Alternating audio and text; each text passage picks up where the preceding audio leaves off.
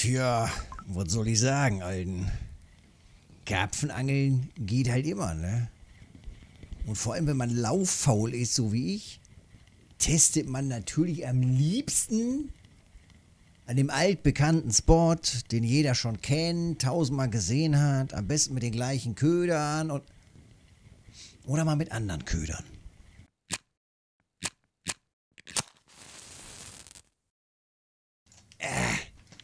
Raus mit dem Brocken. Wir stehen an immer der gleichen Stelle, die man schon gar nicht mehr sehen kann als Karpfenangler. Boring. Langweilig ist es. Aber was willst du machen? Es ist halt immerhin eine Stelle, die nach wie vor immer wieder funktioniert.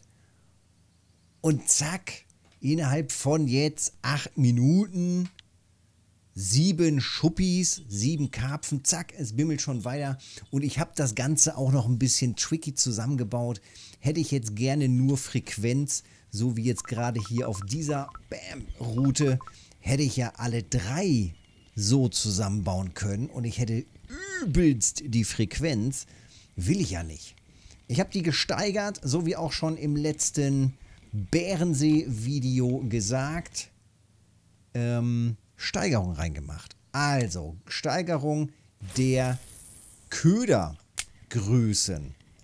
Hier angefangen nur mit dem Maiskorn. Hier weiter Maiskorn mit Boilie. 20er Boilie. Hier weiter doppelter Mais, mächtiges Maiskorn, äh, mächtiger Boilie 26. Ja, reingeschmissen und lübt. Das Ganze allerdings natürlich auch noch mh, geschmacklich, übelst edel und zart schmelzend auf der Zunge. Reingeballert habe ich hier auf dem zarten Lachs. Denn Hauptsache, es lübt der Lachs. Das ist ja auch mal wichtig, auch wenn man gerade auf Karpfen ist. Und ja, Lachs kann man sagen, ist gerade konstant gut. Schmeckt, kann man nicht anders sagen. Ey.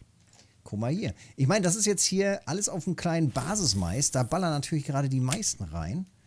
Und ähm, die Größen sind natürlich jetzt hier gar nicht so gigantisch. Deswegen bin ich ja gespannt, was denn dann mal hier reinballert.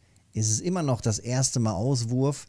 Es ist immer noch das erste PVA, was ich auf der Route hier dran hatte, da mit drin. Und hoppala, hier ist es jetzt schon der dritte oder vierte Biss. Hier war auch schon was Größeres dran. Mit ähm, einem Mais und Boilie. Hier war, glaube ich, auch schon gerade ein 12 Kilo dran. Muss ich gleich nochmal kurz reingucken. Und auch der hier hat gerade ein bisschen mehr Gewicht, aber auch noch nicht so richtig dick. Yep. Komm ran, Alten. Schöner Spiegel. Genau, gucken wir gerade nochmal eben rein. 338812, genau, der war hier auch gerade schon dran. Also, man merkt tatsächlich anhand der unterschiedlichen Köder, beziehungsweise natürlich Ködergrößen und auch Haken, unterschiedliche Frequenzen. Im Großen und Ganzen sieht das so hier schon richtig gut aus. Ich habe mir äh, einen Spot angeguckt hier vom Big Cowley aus dem Discord. Der hat das gepostet, alles im Detail hingeschrieben. Stand hier den ganzen Tag über acht Stunden und hat hier viel probiert und rausgekloppt. Ähm, sein Beitrag steht im Discord. Link zum Discord unten in der Beschreibung. Einfach da mal reingucken ähm, wie das da gerade so lübt. Ja, und ähm, ich muss sagen, es funktioniert ganz gut. Es funktioniert ganz gut. Wir können ja nochmal ins Detail hier gehen. Hier mit der Fortuna Carp basismäßig eben Lachs als Kunstmais, Lachs als Dip und es war natürlich auch ein PVA dran. Da gehen wir dann gleich nochmal drauf rein. Das PVA habe ich allerdings, es war ein großes PVA, ich habe nur fünfmal reingeschmissen. Das heißt, am Spot liegen jetzt, äh, also nicht das ganz große, das mittlere, liegen jetzt zehn Bällchen Futtermische sozusagen. Und der Spot lübt jetzt auch schon mit den bisschen an Futter. Bin ich schon ganz zufrieden. Ich bin wirklich ganz zufrieden. Es können natürlich gerne auch ein paar dickere reingehen, wäre natürlich auch nicht verkehrt. Und das ist das, was ich heute Mittag direkt getestet habe. Da war ich hier nochmal mit der guten ollen Zitrone. Auf der Zitrone lief heute Mittag ganz vernünftig die, da liefen die gerahmten. Gerahmte Spiegelkarpfen, eindeutig auf gerahmt. Und jetzt hier mit dem Lachs eindeutig, kann man ja nicht anders sagen, Schuppis, Alten. Schuppis auch immer wieder gut, aber gerahmte bringen deutlich mehr Kohle.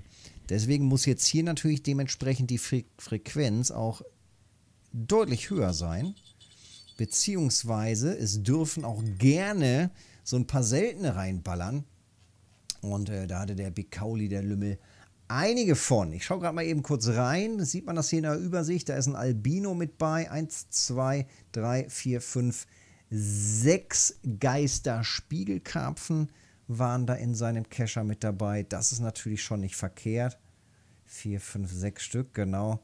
Und ähm, in Gänze hat er da über 1800, 1800 Silber ungefähr gemacht.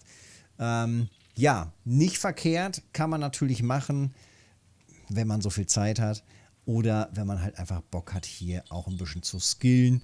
Ähm, wenn die Frequenz und die Größe so bleibt, ist das natürlich recht angenehm. Auch da schaue ich nochmal eben rein in diesen 8-Stunden-Cacher. Und ja, auch da muss man sagen, die Größen sind nicht so gigantisch. Heißt also, wenn ihr hier auf dicke, fette Trophies aus bist, ist es vielleicht nicht so das Dingen. Wenn ihr aber auf Frequenz aus bist, kann ich jetzt schon sagen, lübt der Lachs. Gar nicht so schlecht. Innerhalb dieser kurzen Zeit jetzt hier zwölf Karpfen. Das ist ja, hm, anders wild. Ja, und dann muss ich natürlich eben auch noch ein bisschen testen. Ne? Lübt es denn hier mal tatsächlich auf diese ganz dicken? Oder andere Möglichkeit, gehe ich mal von dem Pop-Up-Rig weg und nutze eine Kombination vielleicht mit äh, Pellets. Auch durchaus eine Möglichkeit. Einfach mal auch da wieder ein bisschen was anderes rumprobieren, ausprobieren.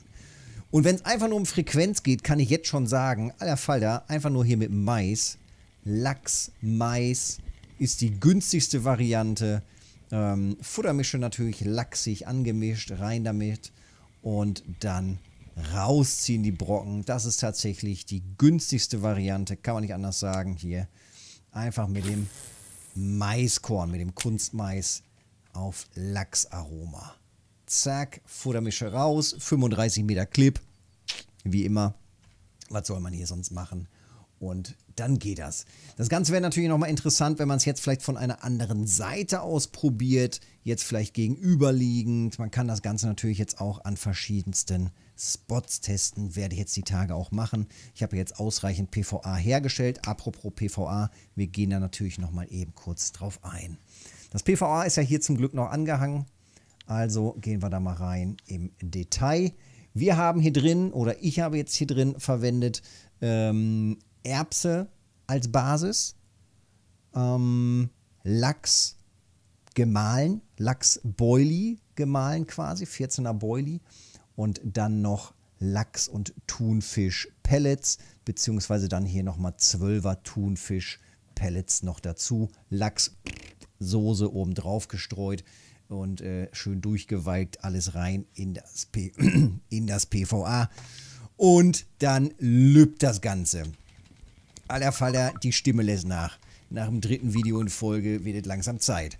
Wenn ihr das Ganze übrigens hilft, gerne den Kanal da, äh, einen Daumen da lassen, Kanal abonnieren, einen Daumen da lassen. Das hilft mir wahnsinnig. Vielen, vielen Dank dafür. Und ich hoffe nicht, dass diese Lümmels hier überhand nehmen. Die wollen wir nämlich gar nicht hier am Spot haben, die kleinen. Die sind, ja, nicht nur schäbig, sondern haben auch keinen Wert. Wir wollen ja hier die dicken Brocken. Was mache ich als nächstes? Wie gesagt, ich teste natürlich mit dem vorhandenen, was ich jetzt habe, mit dem Background. Zum einen natürlich äh, aus dem Discord mit den Infos von den anderen Anglern und mit dem Wissen, was ich jetzt hier habe und die Erfahrung, die ich jetzt ja an dem Spot habe, teste ich natürlich auch andere Spots. Heißt, ich würde, glaube ich, als nächstes einmal hier in dem Bereich gehen oder hier und auch nochmal hier in diesem Bereich da war ich zuletzt auch mehrfach und hatte auch hier immer wieder seltene, Wobei hier müsste man das Ganze ein bisschen umbauen, denn hier der ganze Bereich ist total grünlich. Das heißt, dementsprechend müsste man das, ähm, das LED-Core und das Blei nochmal eher auf grasig-grün umbauen. Aber auch dann geht das gar nicht so schlecht. Ich sehe auch gerade hier im Ingame-Chat, im Feierabend-Chat, haben wir hier auch wieder, ja, selbst in der Nacht noch dicke, fette Schuppis dran. Also auch da wird noch kräftig auf Karpfen geangelt. Da haben wir hier den nächsten Spiegel. Ja, so sieht es aus. Ich würde sagen, einfach mal testen, ihr Lümmels. Ihr könnt ja mal unten reinschreiben, mit welcher Mische ihr gerade hier zugange seid und mit welcher Köderkombination ihr hier gerade zugange seid. Einfach mal unten mit reinschreiben. Ich habe auch schon gehört vom Dudu-Baum, vom Druidenbaum, vom, von der dicken, fetten alten Eiche. Die ist, glaube ich, hier so in dem Bereich. Ähm, da soll es auch übelst wieder abgehen. Ich teste nach wie vor hier. Erster, bam, bam, erster Biss auf dicke Boilies. Da bin ich natürlich jetzt gespannt. Ich hoffe, der bleibt dran. Da bin ich echt gespannt. Erster Biss auf 26er Boilie. Hat jetzt ein bisschen gedauert. Ich würde sagen, ja, fast eine Viertelstunde hat es gedauert, bis da jetzt wirklich mal was reingeht. Dann darf das aber natürlich auch, wenn das was wirklich Dickes ist. Das ist natürlich nicht schlecht. So, und dann schön rein hier in den Blank, immer wieder nachziehen und auch mal ein bisschen verschiedene Winkel nehmen zum Nachziehen.